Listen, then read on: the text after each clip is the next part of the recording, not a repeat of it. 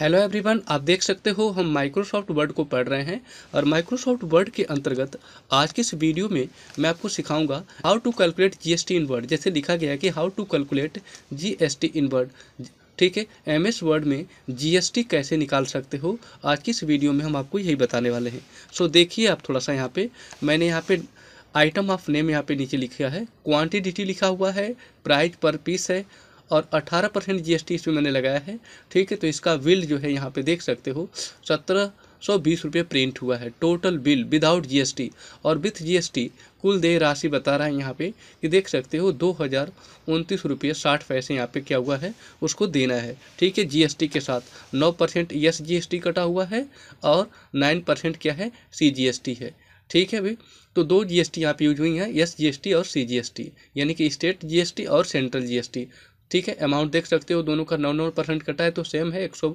चौवन रुपये अस्सी पैसे, एक सौ चौवन रुपये अस्सी पैसे। ये सत्रह सौ रुपये बीस पैसे का बिना जीएसटी का था तो ये सब जोड़ेंगे जब दोनों को तो आ जाएगा यहाँ पे दो हज़ार उनतीस रुपये साठ पैसे कुल दे राशि, ठीक है? यहाँ पे लिखा है total bill payment detail total bill without GST यहाँ पे मैंने ये बताया आपको यहाँ पे। ठीक है? आप देखेंगे कि यहाँ पे मैं माइक्रोसॉफ्ट वर्ड के अंतर्गत इसको फार्मूला के माध्यम से किया हूँ। जैसे कि कीबोर्ड तीन पीस है तो कीबोर्ड तीन पीस का रेट कितना होगा यहाँ पे? यहाँ पे छः सौ साठ रुपये। दो पीस का कितना होगा यहाँ पे? आपने माउस जो खरीदा है उसका यहाँ पे दो सौ चालीस रुपये। पेन ड्राइव एक पीस है तो उसका रेट दो सौ तीस रुपये है तो उसका दो सौ तीस रुपये आया है। हेडफोन जो है पाँच पीस है और एक पीस का रेट नब्बे रुपया है। पाँच पीस का जो अमाउंट चार सौ पचास रुपये माइक दो पीस है, सत्तर रुपये एक का अमाउंट है तो दो का एक सौ चालीस रुपये हो जाएगा। जब ये सारा कुछ मैंने कैलकुलेशन कर लिया है तो यहाँ पे देख सकते हो कि उसका जोड़ आ गया है और फिर इसी जोड़ का नौ परसेंट निकाला है एस जी एस टी और नौ परसेंट यहाँ पर सी जी एस टी और फिर इसके बाद मैंने यहाँ पर टोटल इसका अमाउंट यहाँ पे बता दिया है कि इतना होगा। तो मैंने एम एस वर्ड में कैसे इसको बनाया है, आज की इस वीडियो में मैं आपको सिखाने वाला हूँ। सो आइए वीडियो में लास्ट तक बने रहिएगा। डेफिनेटली ये चीज़ जीएसटी कैसे आप इसमें निकाल सकते हो वर्ड में, आपको समझ में आ जाएगा। सो आइए स्टार्ट करते हैं। ओके तो मैंने पहले से ही सेटअप कर रखा है यहाँ पे। How to calculate GST in Word यहाँ पे। सेम सारा कुछ मैंने यहाँ पे लिखा है। बस मैंने कैलकुलेशन नहीं किया। आइटम का नाम डाल दिया हूँ। क्वांटिटी यहाँ पे लिखा हूँ प्राइस पर पीस है, यहाँ पे देख सकते हो। और यहाँ पे जीएसटी है, देख सकते हो, अठारह परसेंट निकालना है। यहाँ पे बिल को हम लोग क्या करेंगे, निकालेंगे। देख सकते हो कि ये सभी चीज़ें मैंने पहले से राइट कर रखा है। केवल मैं यहाँ पे कैलकुलेशन आप लोग को यहाँ पे क्या करने वाला हूँ, बताने वाला हूँ। सो आइए देखते हैं कैसे कर सकते हैं। तो सबसे पहले देख लो कीबोर्ड के बारे में। कीबोर्ड यहाँ पे ग्यारह पीस है और एक का कितना है? दो सौ बीस रुपये है। तो अभी मैं यहाँ पे जाऊँगा और कीबोर्ड को कैलकुलेट करता हूँ कि अगर मैं ग्यारह पीस कीबोर्ड खरीदूँगा, दो सौ बीस रुपये की रेट से तो कितना इसका अमाउंट आएगा? तो मैं यहाँ पे कर्सर रख लिया हूँ। ध्यान दीजिए, आप यहाँ पे लेआउट टैब पे जाना है आपको। यहाँ पे क्लिक करोगे, इसमें फार्मूला वाले ऑप्शन पे आपको क्लिक करना है यहाँ पे अभी। जैसे आप क्लिक करोगे तो फार्मूला का ये डायलॉग बॉक्स आपके सामने यहाँ पे आ जाता है। अब बस यहीं पे आपको फार्मूला को यूज़ करना है। तो क्या फार्मूला यूज़ करूँगा कि ये काम करेगा? यहाँ पे मल्टीप्लाई करना पड़ेगा ना, क्योंकि एक पीस का रेट दो है तो ग्यारह पीस का कितना होगा? मल्टीप्लाई करने के बाद ही आएगा। तो क्या करो, ये जो फ़ंक्शन यहाँ पर लगा हुआ है, इस फ़ंक्शन को आप यहाँ से हटा दो और यहाँ पर प्रोडक्ट नाम का इसमें फ़ंक्शन है, उसका उपयोग कर लो आप यहाँ पर तो जाओ और इसमें आप प्रोडक्ट को सेलेक्ट कर लो आप यहाँ पे। ये देखिए, नीचे यहाँ पे प्रोडक्ट नाम का फ़ंक्शन आपको मिल चुका है। बस इस पर क्लिक करेंगे तो प्रोडक्ट आ जाएगा। अब किसका निकालना है आपको यहाँ पे? इन्हीं का निकालना है ना? ठीक है मतलब ये आइटम है और उसका प्राइस है। तो इसका एड्रेस आपको यहाँ पे डालना पड़ेगा। तो ये बी कॉलम में है, ये ए कॉलम है, ये बी कॉलम है, ये सी कॉलम है। तो यहाँ पे बी कॉलम में लिखा गया है और कौन सी रो में है? वन रो और टू रो दूसरे रो में है। तो लिखूँगा यहाँ पे बी टू। इसका एड्रेस क्या होगा इस सेल का? बी टू होगा ना?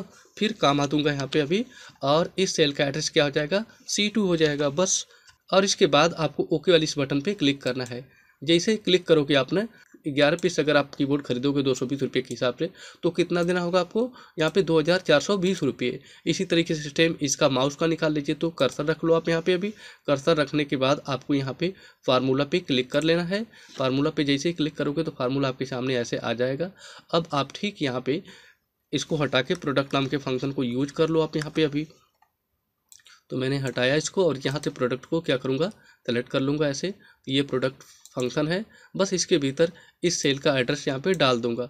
तो सारे आइटम तो बी और सी में ही लिखे गए हैं तो मैं यहाँ पे लिखूँगा, अभी ये क्या था वी टू था ना आपका यहाँ पे अभी तो इसका एड्रेस क्या हो जाएगा, वी थ्री हो जाएगा। तो लिखूँगा वी थ्री, कोमा दूँगा यहाँ पे, और अगला क्या हो जाएगा आपका सी थ्री हो जाएगा। कुछ इस तरीके से देख सकते हो आप यहाँ पे फार्मूला में मैंने यूज़ कर दिया है। अब जैसे मैं ओके वाली बटन पे यहाँ पे क्लिक करूँगा तो ऑटोमेटिकली देख सकते हो कि इक्कीस पीस माउस खरीदूँगा एक सौ बीस के हिसाब से। तो कितना रुपये मुझे उसे देना पड़ेगा यहाँ पे? देखो आप, पच्चीस सौ बीस रुपये।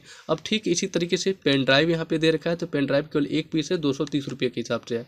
तो यहाँ पर जाऊँगा और कर्सर को रख लूँगा और फिर से आपको फार्मूले पर क्लिक करना है। और यहाँ पर जो राइट किया गया है, इसको पहले से आप ऐसे हटा लो और इसमें से प्रोडक्ट नाम के इस फ़ंक्शन को क्या करोगे आप यहाँ से? सेलेक्ट कर लोगे आप यहाँ पे, ये देखो ऐसे, और बस इसके भीतर, इस सेल का एड्रेस आप डाल दोगे। तो इस बार किसमें है? बी फोर में है और यहाँ पे सी फोर में है। तो यहाँ पे लिखोगे बी फोर और कामा देंगे, क्या लिखेंगे आप यहाँ पे? सी फोर यहाँ पे, ये यह देखिए। ठीक है? क्योंकि पेन ड्राइव जो लिखा गया है ना, इस रो में देख सकते हो ये। तो ये तीसरा नहीं, अब चौथा रो है, इसीलिए मैंने यहाँ पे बी फोर लिखा है और सी फोर लिखा है।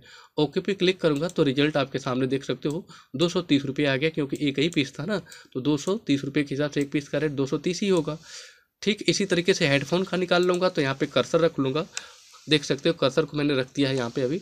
बस मैं फार्मूला पे क्लिक कर लेता हूँ यहाँ से। क्लिक करने के बाद इसको हटा दूँगा यहाँ से और मैं यहाँ पे फिर से प्रोडक्ट को क्या करूँगा यहाँ पे? सेलेक्ट कर लूँगा यहाँ पे। प्रोडक्ट को सेलेक्ट करने के बाद इन सेल का एड्रेस आपको डालना है। तो अगले सेल का एड्रेस क्या हो जाएगा? ये फोर था, अब फाइव हो जाएगा। तो यहाँ पे लिखोगे B five comma C five तो बी यहाँ पे लिखा मैंने फाइव और इसके बाद कामा क्या लिख दूँगा? सी फाइव राइट कर दूँगा। और जस्ट ओके वाली बटन पे क्लिक करता हूँ यहाँ पे तो देख सकते हो चार सौ पचास रुपये। नब्बे रुपये के हिसाब से पाँच पीस का जो हेडफोन ख़रीदा है आपने, वो चार सौ पचास रुपये उसका टोटल हो जाएगा। ठीक है? अब इसका, किसका रह गया है? माइक का केवल। यहाँ पे दो पीस है और एक का रेट कितना है? सत्तर रुपये है। बस आइए फार्मूले पे रख लो। कर्सर को यहाँ पे रख लो सबसे पहले फार्मूले पर क्लिक कर दो और इसको हटा दो आप यहाँ से और प्रोडक्ट नाम के फ़ंक्शन को सेलेक्ट कर लीजिए आप यहाँ से। तो क्लिक करूँगा प्रोडक्ट पे। और बस यहाँ पे क्लिक करने के बाद इसका सेल का एड्रेस डाल दूँगा। तो इस बार किसमें जाएगा आपका? यहाँ पे बी सिक्स हो जाएगा आपका ये और ये सी सिक्स हो जाएगा। तो आइए यहाँ पे लिखता हूँ। B six comma C six बस इतना लिखने के बाद ओके पे क्लिक कर दूँगा। तो आप देखोगे कि दो पीस का रेट यहाँ पे एक सौ चालीस रुपये बन जाएगा। अब आपने देखा किस तरीके से मैंने यहाँ पे कैलकुलेशन किया है। ठीक है अभी? अब ध्यान दीजिए यहाँ पे। और टोटल यहाँ पे विल विदाउट जीएसटी निकालना है तो बस कर्सर आप यहाँ पे रख लो और ठीक कर्सर रखने के बाद फार्मूले पे जाके फिर से क्लिक कर दो केवल आप यहाँ पे। और जैसे ही क्लिक करोगे तो एक इसमें पहले से ही फार्मूला लगा हुआ है, देख सकते हो सम एबव बस इनको ओके वाली बटन पे क्लिक करके सम कर दीजिएगा ऐसे। तो मैं क्लिक कर देता हूँ तो सारे का सम पाँच हज़ार सात सौ कितना निकल गया यहाँ पे? साठ रुपये, बिना जीएसटी का। अब सपोज़ दैट अगर आप जीएसटी अब कटाना चाहते हो तो सिंपल है, बिल्कुल ही। आप यहाँ पे कर्सर रख लो। ओके कर्सर को ऐसे रख लेना है। रखने के बाद आपको यहाँ पे फार्मूला वाले टैब पे क्लिक करना है। इसके बाद आपको यहाँ से फार्मूले को हटा लेना है। जिस संख्या का आपको यहाँ पे जीएसटी निकालना है, उस संख्या को यहाँ पे राइट कर लीजिए, या फिर उस सेल का एड्रेस डाल दोगे तो मैं संख्या को यहाँ पे राइट कर देता हूँ। यहाँ पे फाइव और इसके बाद क्या है? सेवन सिक्स और ज़ीरो है। ठीक है? कितना परसेंटेज निकालना है? नौ परसेंट तो मल्टीप्लाई का साइन देखिए, नौ परसेंट राइट कर दोगे और बटा कितना कर दोगे आप? यहाँ पे हंड्रेड कर देना है। और जैसे ही आप ओके वाली बटन पे क्लिक करोगे तो आप देखोगे इसका जीएसटी कट के आ गया।